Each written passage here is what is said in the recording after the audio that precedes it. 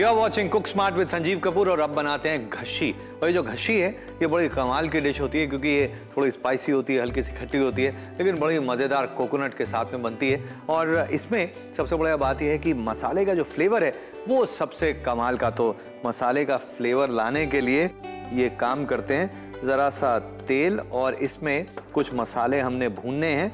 तो ये मेरे पास में है धनिया धनिए के साथ में जीरा और कुछ काली मिर्च, थोड़ी सी इसके अंदर मेथी दाना। इसके साथ साथ इसमें ज़रा लाल मिर्च भी चाहिए। तो ये जो लाल मिर्च है, ये इसके अंदर। और अब खुशबू बढ़िया सी आ रही है, ज़्यादा नहीं होना चाहिए ये। तो एक काम करते हैं, ज़रा और तैयारी कर लेते हैं और ये तैयारी में मुझे चाहिए ये देखिए। प्याज चॉप किया हुआ और मसाला जो है उस पर भी नज़र रखें। भाई, मसाले में गड़बड़ नहीं होनी चाहिए। पता चला कि आप इधर बिज़ी हो गए और जो मसाला है वो ज़्यादा तैयार हो गया मतलब ज़्यादा भुन गया ना। बिल्कुल ठीक है। ये जो हमने लिया है, एक काम करते हैं, इसको पीसना है हमने। चलिए ये ले लिया और इसमें से जो फ्लेवर आना था ना, वो तो आ गया। अब बाकी काम बाकी काम में इसमें गार्लिक, उसके साथ साथ इसमें सबसे ज़रूरी चीज़, ये लीजिए। ये क्या है? नारियल। ये नारियल ले लिया और नारियल ढेर सारा इसके अंदर। और भी चीज़ें पड़ेंगी, लेकिन उससे पहले एक काम करते हैं। ये प्याज जो हमने काटा है ना वो ज़रा पकाना शुरू कर देते हैं।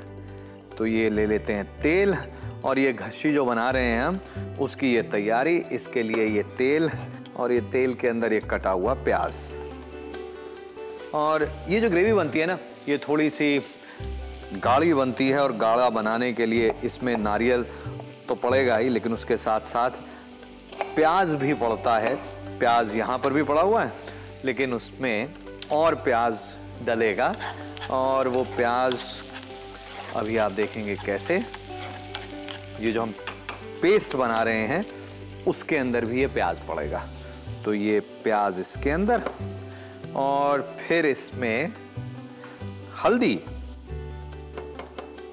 ये हल्दी, उसके साथ साथ इमली का पल्प।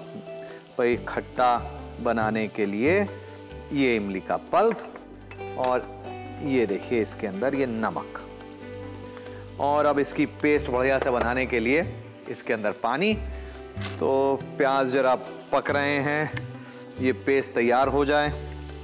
और देखिए क्या मज़ेदार ये रेसिपी तैयार होगी। ये ले लिया और फिर ये सारी चीज़ें इसके अंदर।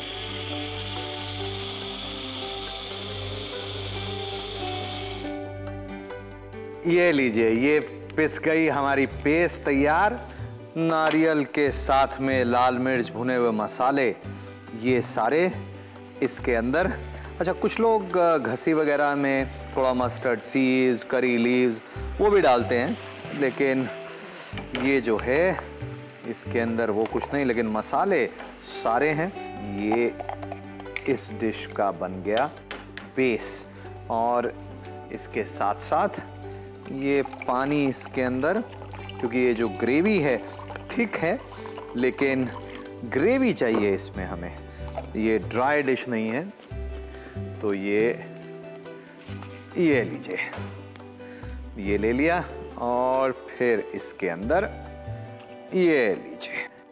आह, क्या खुशबू आ रही है बढ़िया सी इसके अंदर से।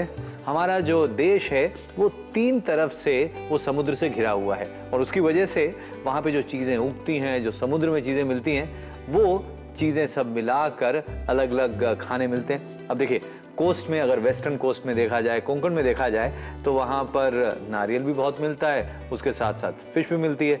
तो नारियल और फ़िश को मिला के बहुत सारी चीज़ें बनाई जा सकती हैं। और हाँ उसके अंदर अगर कुछ मसाले मिला लिए जाएँ, कुछ मिर्च वगैरह मिला दी जाए तो एकदम कमाल की डिश बनती है। अब उसका नाम कुछ भी हो सकता है। कभी कभी थोड़ा सा मसाला इधर गया, उधर किया एक डिश अलग बन गई। अब, घसी खानी है, आपने आम्बो तिक खानी है, या फिर बालचाओ खाना है, डिश में इंग्रेडिएंट्स में बहुत ज़्यादा फ़र्क नहीं होता। कभी प्रपोर्शन में फ़र्क होता है, कभी पकाने के तरीके में।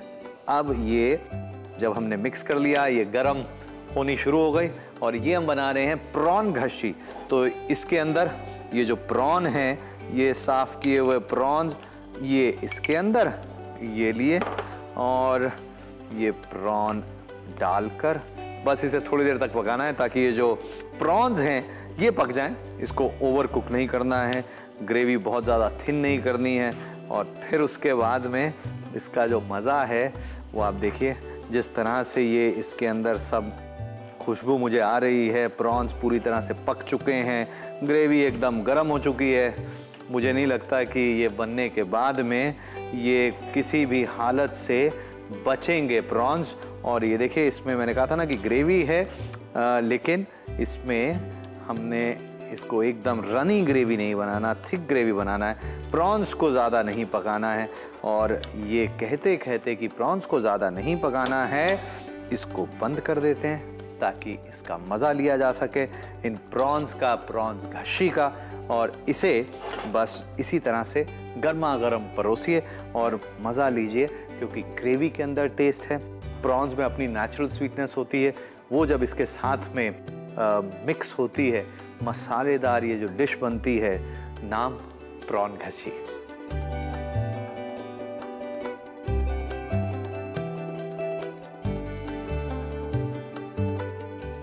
प्रॉन घसी बनाने के लिए एक नॉनस्टिक पैन में एक बड़ा चम्मच तेल गर्म करें। उसमें साबुत धनिया, जीरा, काले मिर्च और मेथी दाना डालकर खुशबू आने तक भून ले। सूखी लाल मिर्च डालें, आँच बुझा दे और समान तापमान तक ठंडा होने दे। बचा तेल एक दूसरे नॉनस्टिक पैन में गर्म करें। उसमें प्याज डालकर उसका रंग बदलने तक भुने। भुने मसाले को एक मिक्सर जार में डाले, लहसुन और कसा नारियल डाले। बचे प्याज के चार टुकड़े करके मिक्सर जार में डाले। फिर हल्दी पाउडर, इमली का पल नमक और आधा कप पानी डालकर बारीक पीसे पीसे पेस्ट को पैन में डालें। फिर आधा कप पानी डालकर अच्छी तरह मिलाएँ। प्रॉन्स डालकर अच्छी तरह मिलाएँ और पकाएँ जब तक प्रॉन्स पक जाए इसे अब सर्विंग बोल में डालकर तुरंत परोसे